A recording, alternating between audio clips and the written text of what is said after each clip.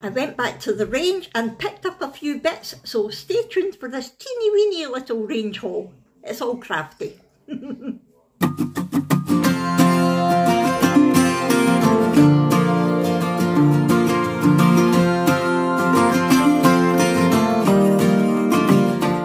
everyone, welcome to our Crazy Life Scotland. It's Fiona here and today I have got another little haul for you from the range. It's just a tiny tiny one but I wanted to show you anyway. If you watched my weekend vlog, you will have seen that I managed to persuade Jack to take me to the range while we were out and about. And I picked up a few bits. To be honest, I didn't expect them to have anything left really in the Christmas range, but it was all laid out a lot better than it had been when I tried to get Christmas sale items on the 27th of December. So it was much better and I ended up getting mostly Christmas things. You know what I'm like, I will be doing Christmas crafts from next month anyway, so it will definitely not go to waste. Right, let's get on with it. I have got my receipt so I will give you all the prices. And it is a small haul, all fits into one of their bags. now this has to be the bargain of the day.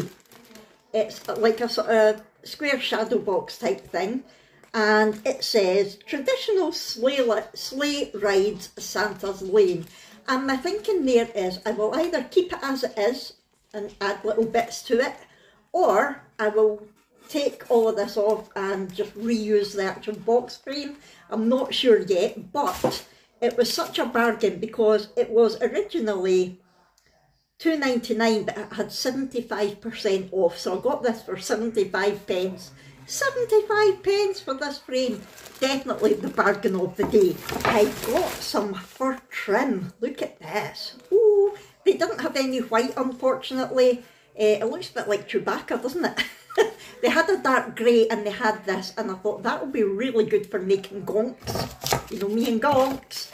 And this was, hmm, I'm thinking, I'm looking, it must be here somewhere. Hmm, I don't think she's put that through. I cannot see it on the receipt at all. It wasn't self-service, it was a lady who did it, so I can't be held responsible if I've got a freebie.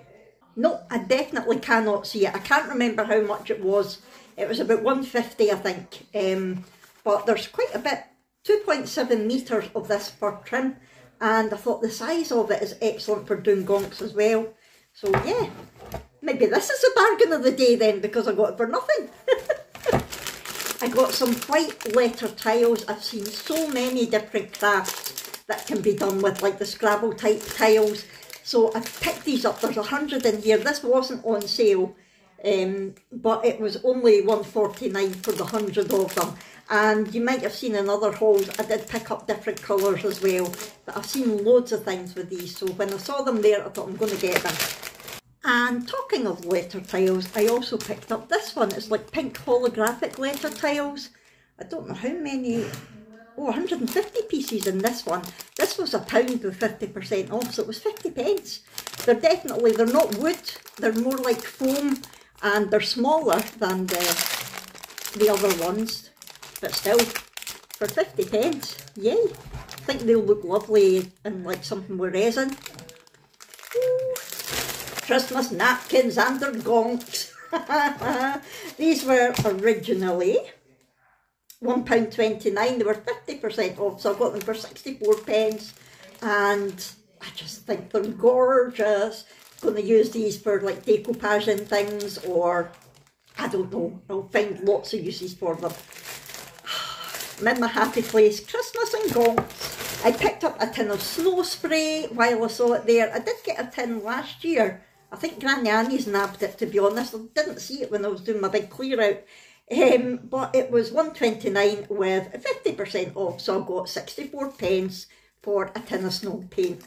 It didn't say on it that how much it had off it, so I didn't want to pick up too many of them. But I wish I'd picked up a couple now because that never goes wrong when you're doing Christmas crafts. We're nearly there already. I told you it was just a little haul.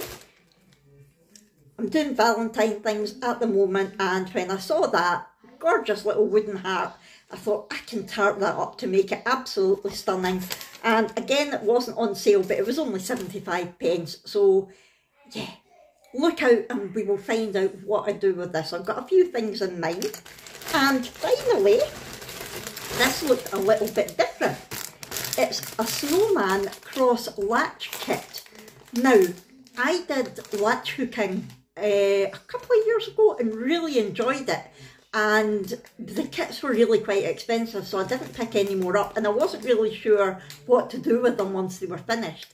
And then I saw this and I thought, oh, it looks like a cross between latch hooking and cross stitch. I have got no idea. Don't know what we do with it at all, but I'm hoping there's instructions inside. It says the kit includes seven colours of yarns, photo instructions, linen cloth, embroidery ring and needle. Now this one was, it was originally £4.59 but there was 50% off so I got it for two forty nine. Brilliant price, cannot complain at that. I'm actually going to open it just now we'll have a wee look together to see what's, what's in it. Again, I should have picked up more if I'd known how much it was. That is one thing the range are quite guilty of, is not pricing things very well. So we have got our embroidery hoop, which as I mentioned in my last haul from the range. There's lots of crafts you can do with them as well. But I think this one I will keep for this craft. Oh my goodness.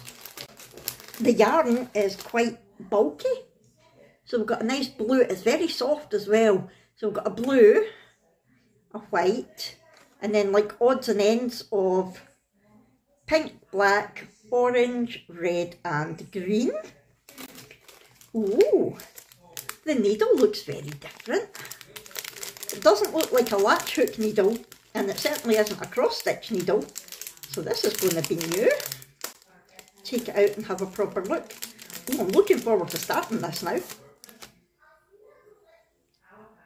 So it's got a little hole there and it's got a, quite a sharp point. So I'm assuming the, the yarn goes through the hole and then you put it up and down through the cloth because the cloth is already printed. How does it go? That way. So we put it in the hoop and then it's, it looks a bit like Aida but you can't actually see the holes. It's uh, like very close together strands. Whereas Aida, you know how you can see the holes that your needle goes in and out? You can't really see the holes there. Let's have a look and see what the instructions say. Right, so there's instructions on how to put it into the hoop. I can do that much. Ah, where did my needle go? So looking at this, the yarn goes in the hollow end of the needle and then comes out at the point, I think. Ooh. I hope there's tutorials on YouTube because this looks quite complicated. Wait till I put my glasses on. Wait till I put my eyes on. Right, it says the oblique side of the needle is forward What's an oblique side? I don't know. and the needle is pressed hard until the needle sticks to the cloth surface. Lift the needle up gently. Keep the point of the needle against the surface of the cloth. Do not leave the cloth too high. Move the needle slightly and repeat the steps until the entire area is filled with stitches. So is it a bit like punch needle thing? I've seen people doing that. I don't know. Then it says, punch small colour blocks first, then larger colour blocks. That's the instructions. Maybe I'm not looking forward to doing this. I thought it would be a wee bit more straightforward than that. What is an oblique side? Is that the oblique side? Or is that the oblique side?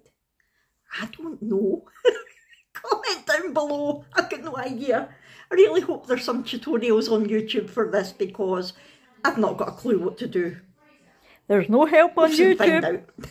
There's no. Stay tuned to my channel and I will give you an update if I figure out how to do it.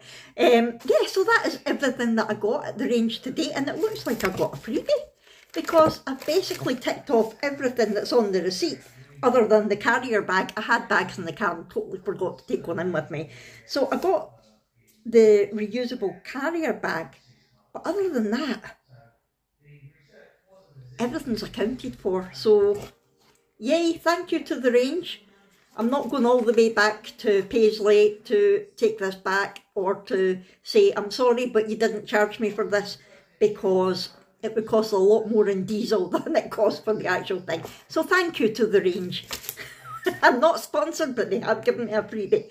Anyway, other than that, I think this is definitely a bargain. 75 pence. Again, if I'd known it was only 75 pence, I would have definitely picked up more. They had loads of them.